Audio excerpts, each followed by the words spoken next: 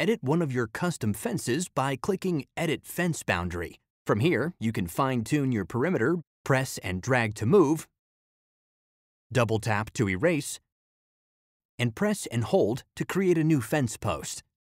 Once you're ready, click Save Changes, and your updated fence is ready to use.